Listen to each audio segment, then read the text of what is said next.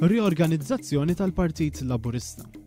Fl-1933 Boffa beda riorganizzazzjoni tal-Partit Laburista b'direttivi ġodda fosthom il-projbizzjoni li tittella l-bandiera l-ħamra fuq il-każini tal-Partit Laburista, il-projbizzjoni tal-kant tal-innu tal-bandiera l-ħamra fl-attivitajiet tal-partit, u fil-bandiera tal-partit.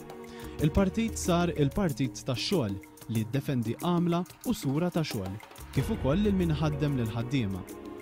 Dan għaliex kien jemmen li biex il-pajjiż iqum fuq tiegħu mid-dipressjoni l-kbira ta' dawk is-snin kien jeħtieġ qawmien sħiħ fost it-taqsimiet kollha tal-poplu Malti.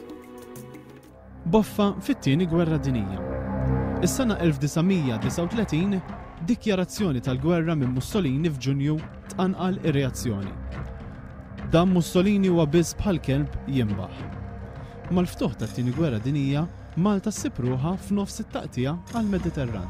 Boffa kien b'ruħu u ġismu favur l-Ingliżi matul il-gwerra u kontra l-assi Nazi Faxxisti li l-Partit Nazzjonalista kien jappoġġja b'ħiltu kollha. Huwa wera tħassib għall-għadd ta' xelters u protezzjoni aħjar għall-Maltin mill-bombi tal-għadu. Il-livell ta' tbatija umana u sagrifiċċji kienet bla preċedent. Imbagħad tmiem il-gwerra ġab aspirazzjonijiet ġodda l-poplu. Il-Gvern Ingliż reġa' ta' self-government lil Malta li kien ħadilha minħabba fl-appoġġ li l-Partit Nazzjonalista kien jagħti fil-beraħ u fid-deher lill-faxxisti u l-għedewwa tad-demokrazija. Fl-1945 twaqqaf il-Labour Front mill-Partit Laburista u anke l-General Workers Union.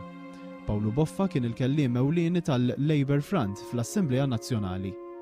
Fost il-kisbiet ġodda mill-Kunsill tal-Gvern kien hemm id-dħul tat-tagħlim obbligatorju fil-livell primarju. Dan twettaq fl-1946. Boffa Prim Ministru. F'Ottubru 1947 il-Partit Laburista rebaħ rebħa kbira, 60 fil-mija tal-voti u 24 membru fl-Assemblea Leġislattiva. Bħala Prim Ministru ta' Malta, ta bidu għal ġlieda qawwija kontra l-illitteriżmu. Għafas kemm felaħ fuq l-edukazzjoni, rawwem l-ilsien Malti bħala l-ilsien nazzjonali, ħabrek għat-titjib fil-qasam tas-saħħa, wettaq it-twaqqigħ tal-mandraġġ, u beda l-bini mill-ġdid ta' Malta mġarrfa mill-għadu. Ministru ta' Rikostruzzjoni ħatar lil Perizz Dom Mintoff. Fil-qasam tal-liġijiet soċjali daħħal kundizzjonijiet aħjar għall-ħaddiema tal-Gvern u tal-magni tat-tqiegħ. Lill-ħaddiema tal-partikular għenhom biex jibdew jaħdmu 48 siegħa fil-ġimgħa bħala ħaddiema taċ-ċivil. Daħħal il-pensjoni tax-xjuħ u l-liġi fuq id-dħul. Fost ħwejjeġ oħra daħħal il-pensjoni tal-Pulizija wara 25 sena servizz. Il-vot lin-nisa. Ħaġa li dak iż-żmien ħafna kienu jaħsbu li ma tistax tidħol qatt kienet il-vot tan-nisa.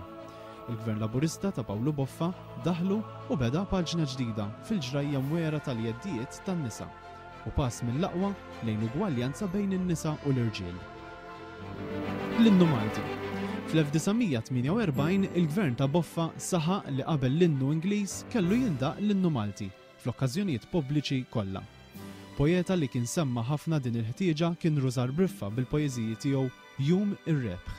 Il-Gvern Laburista tenna bl-għemil barra milli bil-fomm li l-Innu Malti kien is-simbolu tal-ġens Malti u għalhekk kellu jingħata l-ġieħ u l-qima li kien jistħoqqlu. bħala elm tal-ġieħ u l-qima li kien jistħoqqlu dan il-ġens Malti. Il-ġieħ u d-dinjità li baqa' jgawdi l-innu Malti jagħfu n-nisel tagħhom lis-sehem qawwi li ta l-Gvern Laburista ta' Pawlu Boffa. Qasma fil-Partit Laburista. Il-kwistjoni li qamet bejn it-tabib Boffa u l-Perit Mintoff li fl-1949 wasslet għall-qasma tal-Partit, magħrufa bħala l-isplit, kienet traġedja mhux biss għall-Partit Laburista iżda l-poplu Malti kollu. Il-Gvern Laburista tal-1947 kien diġà wettaq bosta riformi soċjali bħat-taxxa fuq id-dħul u l-pensjoni tax-xjuħ. Dil-kwistjoni kienet ħliet l-enerġija tal-Partit Laburista u ffavoriet lill-Partit Nazzjonalista. Inċident li seħħ fl-ewwel ta' Mejju 1948 f'San Pawl il-Baħar, it-tqassim tal-fondi tal-Marshall Aid fost oħrajn wasslu għal konfront bejn Boffa u Mintoff. L-isplit sar inevitabbli minkejja l-isforzi ta' Boffa biex ikun evitat. Kienet qasma ideoloġika. Bejn Boffa u Mintoff, l-għajla setgħet timtela'. Fid-disgħa ta' Ottubru 1949 Boffa ma baqax mexxej tal-partit, minkejja li baqa' Prim Ministru. Wara l-isplit, Boffa waqqaf partit ieħor, il-Malta Workers Party, li kkontesta l-elezzjoni tal-1950 u li minnha ħareġ bħala l-Kap tal-Oppożizzjoni. Kien ċar li jekk ma jkunx hemm koalizzjoni ma' Nerik Mizzi, il-Gvern kien ikun dgħajjef u b'ħajja qasira. Meta Mizzi ried idaħħal it-Taljan fl-iskejjel, u Pawlu Boffa ra li fil-proposta li l-Boffisti jsiru Mizzjani, it-tama ta' koalizzjoni għebet. Mal-mewt ta' Nerik Mizzi f'Diċembru 1950, daħal bħala Kap tal-Partit Nazzjonalista Borg Olivier u kellha ssir elezzjoni mill-ġdid. Il-Malta Workers Party ta' Boffa tella' seba' siġġijiet, il-Partit Nazzjonalista ħmistax u l-Partit Laburista ta' Mintoff erbatax. Borg Olivier għamel gvern ta' koalizzjoni ma' Boffa u Mintoff sar Kap tal-Oppożizzjoni. Fl-elezzjoni tal-1953 il-Malta Workers Party ġab tliet siġġijiet, il-Partit Laburista dsatax u l-Partit Nazzjonalista tmintax. Saret koalizzjoni mal-Partit Nazzjonalista u l-Malta Workers Party miet mewta naturali. Fl-1955 il-Gvern Laburista rrakkomanda li Boffa jingħata t-titlu ta' Sir.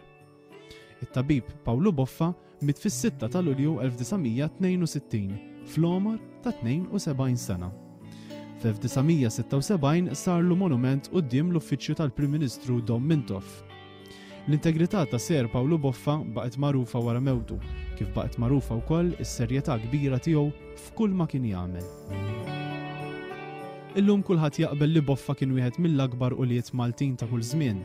John F. Marks, wieħed mill-fundaturi tal-Partit Laburista, kiteb hekk, Wasal iż-żmien li nuru l-qima u r-rispett li għandna lejn dan il-mexxej qalbieni, tal-Partit Laburista. Niftakru fih bħala bniedem li ta ħajtu kollha biex jagħmel il-ġid lill-fqar u lill-ħaddiema skartati u abbandunati.